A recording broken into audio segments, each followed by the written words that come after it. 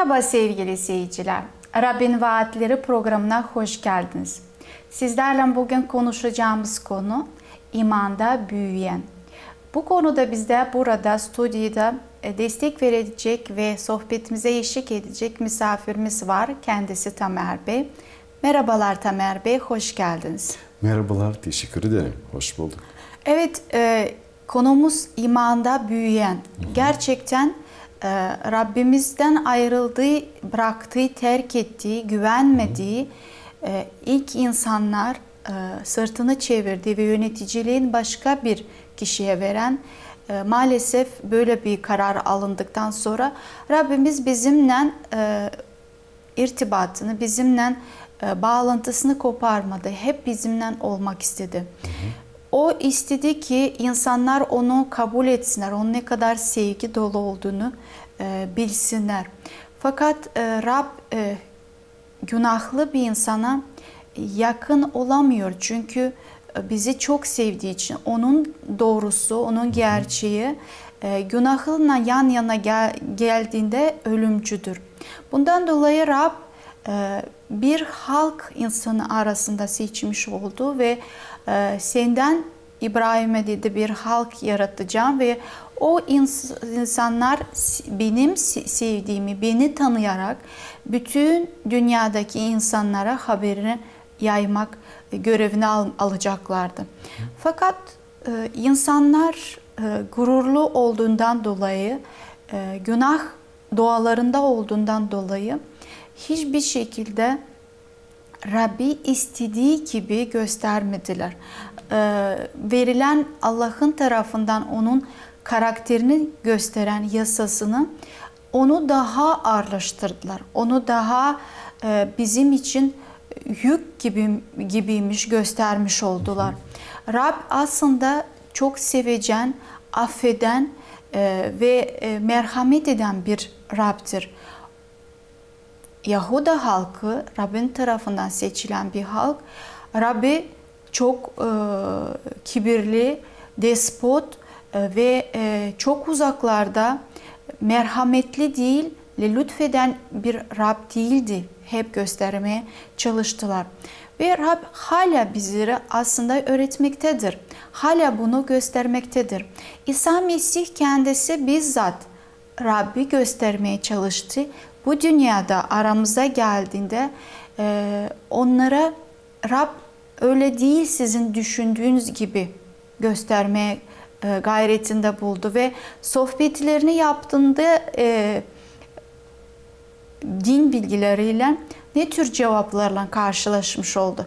Ne tür e, karşılıklarını Tabii. iyilik verdiklerinde e, Rab herkesin sevdiğinde, gösterdiğinde onlar onu ne yaptılar? Yargılamış oldular. Hayır, Rab e, kötülerle, e, zina işleyen insanlarla yan yana gelemez. Onu o şekilde göstermeye çalış, çalıştılar. Oysa ki Rab aslında İsa Mesih bizim babamız herkesin affetmeye ve e, bizimle birlikte olmaya yakın olmak istediğini göstermiş oldum. Evet. Rab halkını eskiden e, Yahuda halkını öğretmekteydi. Hala günümüzde de onu seçen insanları, onun tarafında olmak isteyen Rabbimiz hala öğretmektedir. Mezmur kitapları kitabında hı hı. 32. bölümde evet. 8. ayette şu sözlerle karşılaşıyoruz. Eğiteceğim seni diyor Rab. Gideceğin yolu göstereceğim. Öğüt vereceğim sana. Gözüm sendedir. Aslında böyle bir Rabbe olma, e, üzerimizde daima göz olması ne kadar güzeldir. E, bizim yanlışlıklarımızı bana bize göstererek e, bizi eğitecek diyor Rab. Bunda söz veriyor. Gideceğin yolda sana diyor doğru yolu göstereceğim. Çünkü biz insanlar günahtan dolayı yollarımız sapmıştır ve doğru yolu bulmakta zorlanıyoruz öğüt vereceğim sana diyor. Doğru kararları e, sana yardımcı olacağım vermekte ve gözüm e, daima senin üzerinde olacak. bu bizi ne kadar mutlu ediyor. Çünkü insanlar daima buna ihtiyaç duyuyorlar. Biz yaramaz çocuklar gibiyiz. Ee, çabuk unuturuz. Ee, çabuk e, bildiğimizi çabuk e, e, duruma kullanmaya çalışıyoruz. Ama aslında Rabbin doğru yolu bize bir küçük çocuk elimizden tutup götürmek istiyor. Evet. Peki e, bildiğim kadarıyla siz e, eğitim olarak öğretmensiniz. E, öyle bir uzmanlığınız var. Öğretmen uzmanlığı. Burada Mezmur 32 8'de okudunuz. E, eğiteceğim seni vesaire. Bu eğitim nasıl bir eğitim oluyor? E, öz, özellikle Yüce Rab ne diyor? Siz şu okuluma gitmemiz gerekiyor ve şuraya mı başvurmamız lazım, evraklarımızı doldurup teslim etmemiz lazım ve Rab orada bizi artık eğitim mi verecek bize? Bu nasıl bir eğitim? Bunu e, siz bir uzman olarak, bir öğretmen olarak ne diyebilirsiniz? Yani ne önerebilirsiniz? Rabbinin aslında bizim e, hayatımızda bir okul evet. görmektedir ve bize gönderdiği, e, verdiği, müsaade ettiği e, hatalarımızdan dolayı bazı durumlara müsaade ettiğinden dolayı bizleri aslında öğretmektedir. Yani hı hı. hayat okulunda bulunarak evet. bizi daima öğretmektedir. Ve bu aslında bundan daha güzel bir okul yoktur. Evet. Şimdi evet. çocuklar okulda e, bilgilere sahip olurlar.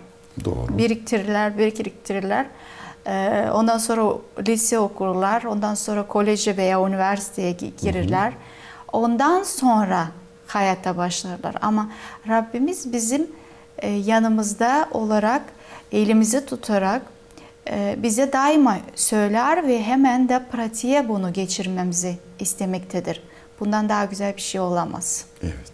Demek ki bu Yüce Allah'ın bize şu okula bu okula git demiyor. Demiyor. Bu e, bir hayat okulu oluyor ve bu okulda insan ömür boyu okuyor.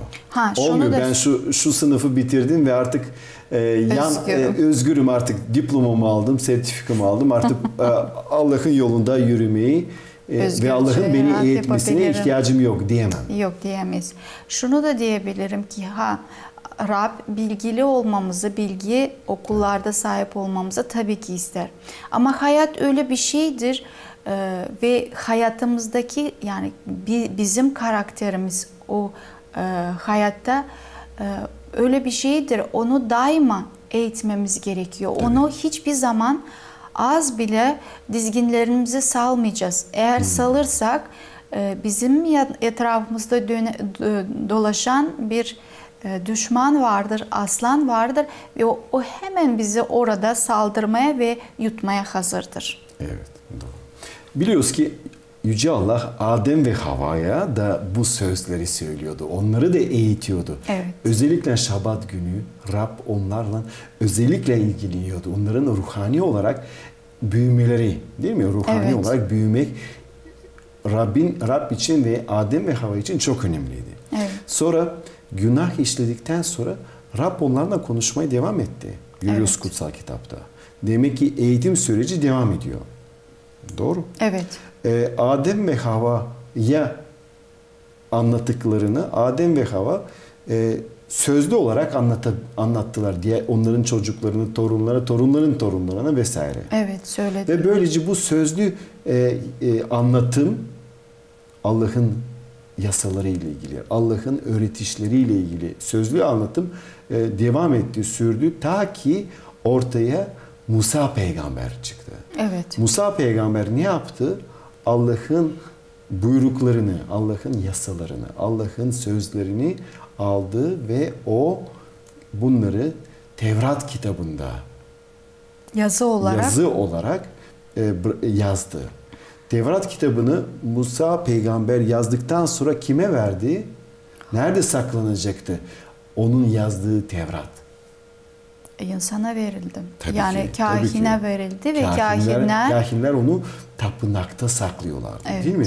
Öz, yani mabette saklıyorlardı. Oradaki e, en kutsal yerde e, buluşma sandığı vardı. Buluşma sandığında, orada anlaşma sandığında e, içinde on emir saklanıyordu. Evet. Anlaşma sandığının dışında ise yanında diğer Tevrat'ın kalan kısmı evet. konuluyordu. Dolayısıyla bu yasa kitabı oradaydı.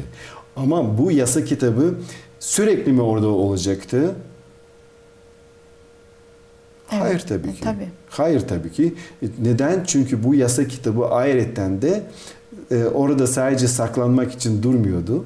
Yasa kitabı kitap adı üzerine ne olacak? Okunması Okunması lazım. gerekiyordu. Evet. Nasıl okunacak? Bakın Yüce Allah ne diyor? Yeşu ikinci bölüm, birinci, e, iki, Yeşu birinci bölüm sekizinci ayet. Yasa kitabında yazılanları dininden düşürme. Tümünü özenle yerine getirmek için gece gündüz onu düşün. O zaman başarılı olacak ve amacına ulaşacaksın. Demek ki Musa peygamberin bu kitabı Yüce Allah Yeşu'ya, Musa'dan sonraki gelen peygambere Yeşu'ya ne diyor?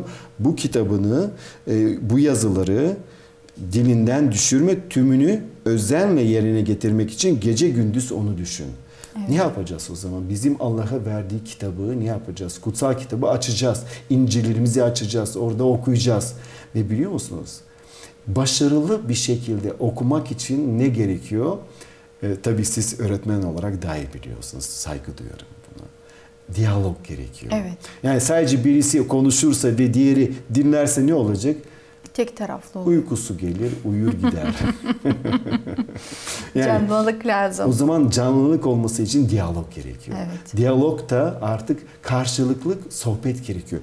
Allah'ın kelamını açtığımız zaman konuşmayı çekinmeyelim. Rabbimize tabii ki dualarımızla, kendi sözlerimizle soralım. Rabbim ben ruhani olarak büyümek istiyorum. Ben senin sözünü daha iyi anlamak istiyorum. Bu konuda bana yardım et. Evet. Okudunuz mu ayeti? Örneğin Yeşu 1.8 yasa kitabının yazılanları dilinden düşürmüyor. Rabbim ben bu sözleri nasıl dilimden düşürmeyeceğim? Ne yapacağım? Senin için bugün ne yapabilirim diye soralım. Evet veya anlamam için bana hayatımda daha iyi bilgileri verebilirsin.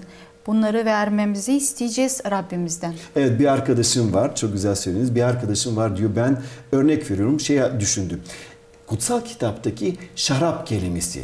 Allah şarap kelimesini kullandığında ne anlamda kullandı? Nerede kullandı ve amacı neydi?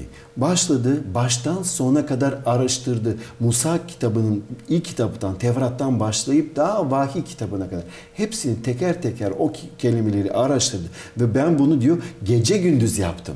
Gece gündüz araştırdım. Aynen Yeşu'nu Yeşu'ya söylediği gibi ve bu arkadaşım sonunda gereken sonuca vardı dedi. Süleyman peygamberin sözleri şaraptan uzak dur çünkü o göründüğü gibi değil e, seni kötü yollara götürebilir diye birçok olayları okuyunca kendisi için bir e, kutsal kitaba dayanarak tabii ki bir e, ders aldı.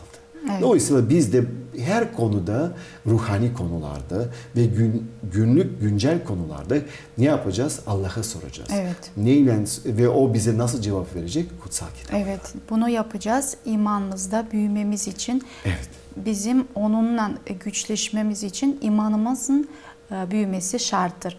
Evet sevgili seyirciler konumuzu imanda büyümek kısa bir aradan sonra devam edeceğiz. Bizimle kalın.